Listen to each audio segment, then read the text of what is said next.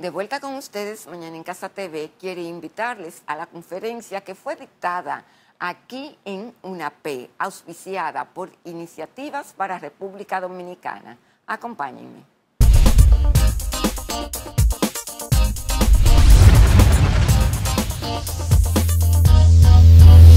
Gracias a la Fundación Iniciativas para República Dominicana, en la persona de su presidente, la licenciada Leonora Silis, por acompañarnos en esta labor de animar el pensamiento crítico en nuestros estudiantes. Yo estoy muy, muy agradecida de poder compartir estas oportunidades con ustedes, nuestros estudiantes. Son aprendizajes que trascienden las paredes del aula. Mi esperanza es que además de un título y una carrera, se lleven de una PEC una formación ciudadana y comprendan que el futuro del país es su responsabilidad. Igual que los profesionales que entregan su conocimiento y tiempo desinteresadamente, como los panelistas de esta noche y los que hemos tenido en dos ocasiones anteriores, espero que cuando ustedes sean llamados a hacer lo mismo, respondan con la misma entrega. Ustedes tendrán que tomar las decisiones que afectarán las generaciones que van subiendo. Ustedes serán los líderes en todos los campos profesionales.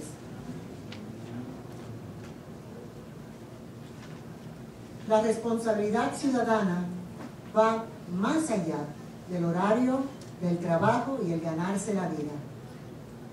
Creo que es nuestro deber, como su universidad, prepararlos para ese gran trabajo colectivo que espera a su generación. Aprovechen lo que escuchan. Pregunten si tienen dudas. Comenten si se sienten motivados. Quizás si Juan Pablo Duarte no hubiera ido más allá de su diario que hacer, no estuviéramos sentados aquí con una identidad nacional de la cual nos sentimos orgullosos y el derecho a la libre expresión. La Fundación Iniciativas para la República Dominicana es una institución que nació jurídicamente justo el pasado año, cuando conmemorábamos el año del bicentenario de dicho acontecimiento, y cuya misión es fortalecer las mejores iniciativas en favor del desarrollo de nuestro país y se siente muy honrada de inaugurar este nuevo 2014 en la realización de un ciclo de actividades en honor a la patria que extenderá durante este mes de febrero en conjunto con esta prestigiosa universidad. Agradecemos la participación de nuestros panelistas invitados, hombres y mujeres de gran trayectoria en la carrera que profesan y quienes sabemos de antemano aportarán grandes luces en nuestra ruta amenazada por obstáculos que podremos obviar si sabemos identificarlos. Es por esto que creemos firmemente que el debate de las ideas engendran las mejores acciones y este tipo de actividades, si son bien acogidas, recogerán las mejores cosechas para el bienestar de todos. En el día de hoy trataremos sobre la vigencia de los ideales patrios, visto desde el punto de vista de los comunicadores. Un tema de suma importancia, que en gran medida fructificará si ustedes y yo nos comprometemos a asumirlos y a difundirlos. En verdad, todos somos comunicadores. Nos acompañan dos profesionales cuyo amor a la patria me consta y se hace palpable en su ejercicio profesional y de una forma muy natural que calificaríamos como genuina, porque definitivamente muy genuino cuando se expresa, lo van a ver próximamente. Gracias a una PEC, en la persona del señor rector, licenciado Radamés Mejía, por abrirnos las puertas a este gran aerópago, que no solo disfrutarán los estudiantes, ustedes, amigos y interesados en este tema, sino a los que también lo harán a través de la prensa tradicional y la televisión, gracias a nuestra gran amiga y colaboradora, Clemen Forcadell, quien va a retransmitir este panel y los demás que se han realizado y los que faltan por realizar en su programa Mañana en Casa TV por Telefuturo Canal 23. Asimismo, podremos hacernos eco en nuestras páginas, obviamente de UNAPEC y en Iniciativas para la República Dominicana. Búsquenos y síganos. Un agradecimiento especial, por supuesto, a la directora del Departamento de Ciencias Sociales y gran amiga, Helen Faber. Y me honra una amistad de larga data, desde ambientes intelectuales, como dije ya por Facebook, las tertulias, en las tertulias nos conocimos y con Duarte nos comprometimos. Eh, gracias a ustedes estudiantes y participantes, quienes serán portadores de sus ambientes de lo que aquí aprendamos con el fin de valorar, amar y defender aún más la bendición de ser dominicanos. Recordemos las palabras del patricio.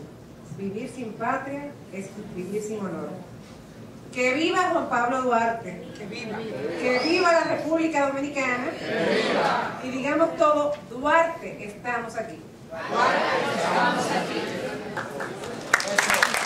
Eh, estoy muy orgulloso y agradecido a la vez de esta invitación que a través de la compañera Leonora Silis pues me ha hecho esta digna universidad AP, una P.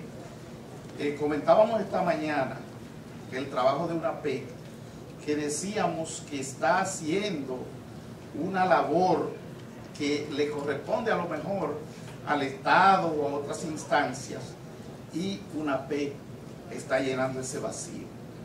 Eh, Héctor Tineo es un compañero de muchos años.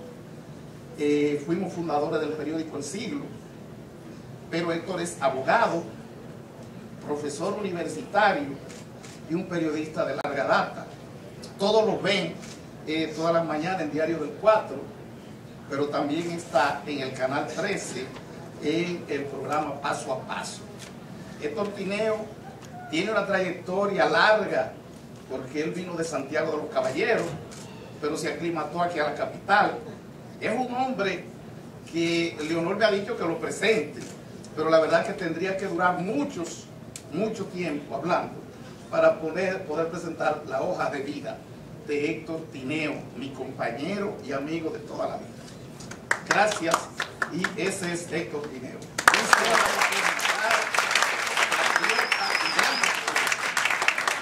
Agradecer la, invitación y agradecer la presencia de todos ustedes y de manera especial eh, a Helen, a ver por la, presentación, a María Isabel Sánchez, a y a Leonora Cili que ha tenido la, distinción de invitarnos para que viniéramos a esta actividad.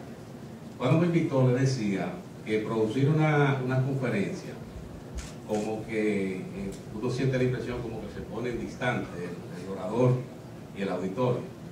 Y le decía que hablar de Duarte es la, lo adecuado que, que se sienta la integración, porque Juan Pablo Duarte fue integración y de igual modo le decía que me llamaba la atención invitar a dos periodistas a hablar de Duarte, porque Duarte, en los medios de comunicación, si hacen el, estudio y le dan el seguimiento, no ha tenido mucha participación. Duarte ha estado un poco restringido en los medios de comunicación. A mí, por ejemplo, como, dominicano, eh, me hace sentir un poco mal cuando se producen fechas que deberían ser ocasión para decirle a una generación como la mayoría que está aquí, que son jóvenes de menos de... Aquí la mayoría probablemente apenas pase de, 20 años. Eh, está ahí en, ese rango, pero casi, y casi todos no llegan a 25 años. Y hablar de Duarte para esa generación eh, pienso que eh, fuera interesante porque podrían tomar su camino y ahí podríamos nosotros tener muchos hombres y mujeres, líderes necesarios, como fue Duarte. Porque Juan Pablo Duarte, digo lo de la fecha, si ustedes toman en cuenta el 26 de enero, en ocasiones uno siente que se hace como un cumplido. Cuando llega el 26 de enero, el día de nacimiento de Duarte. Y algo que, que, que, a mí siempre me ha llamado la atención como dominicano es que viene una fecha como el día el 16 de junio, la fundación de la Trinitaria. Y ese día también uno observa, esa fecha prácticamente pasa desapercibida, cuando debiera ser una fecha aglutinante para la colectividad nacional, porque ese día es que un grupo de jóvenes, liderados por Juan Pablo Duarte, deciden toman la decisión y proclaman el acto público de la fundación de la Trinitaria, la Sociedad Secreta de la Trinitaria, que luego se convertiría en una organización política que, que, es la que posibilita la creación del Estado Dominicano. Y una fecha tan importante como esa pasa eh, desapercibida, o sea, uno coge los medios de comunicación y no encuentra muchas personas que hablen de ese acontecimiento. Pero hay otra fecha que a mí me duele, como dominicano, me duele mucho cuando veo qué pasa.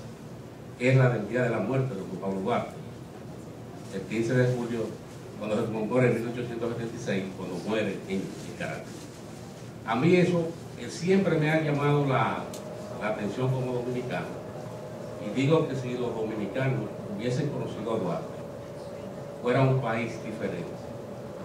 ¿Y por qué digo que es importante para una generación como la mayoría que está aquí?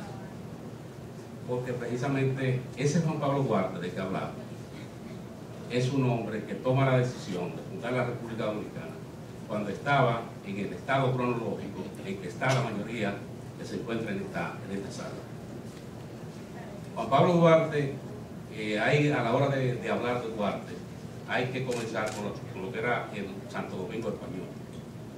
Era una, una sociedad muy pobre, incluso si toman el siglo, todavía el siglo XVIII, se hablaba de la, de la marca, o sea, de, del Santo Domingo Español, muy marcado por la pobreza y en el siglo XIX era una, una sociedad muy insegura, temerosa, no tenía una base económica definida, de ahí la, la dependencia del situado, era lo que venía, lo que llegaba de, de Europa, este, especialmente de España, como lo esperaba la gente, porque era lo que llegaba.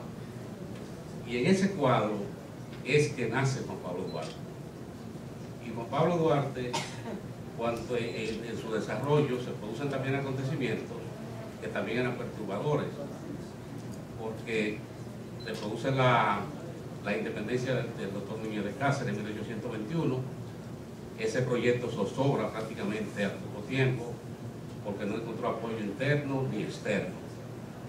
Y luego en el año 1822 se produce la ocupación haitiana. Ese es el, cuadro, la plataforma de, de, de, del Duarte Niño. Como se trataba de una familia que podía enviarlo al exterior, Juan Pablo Duarte tuvo su oportunidad de salir enviado por su familia a estudiar al exterior. Y eso cuando produce su salida tenía 15 años. Pudo conocer parte de Estados Unidos, pudo conocer parte de, Alemania y pudo eh, de, en Barcelona conocer un proceso muy interesante un proceso que marcaría su personalidad. A dar paso porque el compromiso era que fuéramos como una especie de ir interviniendo y hablando. Yo me quedo aquí en Barcelona para continuar luego que, le dé paso a Franco.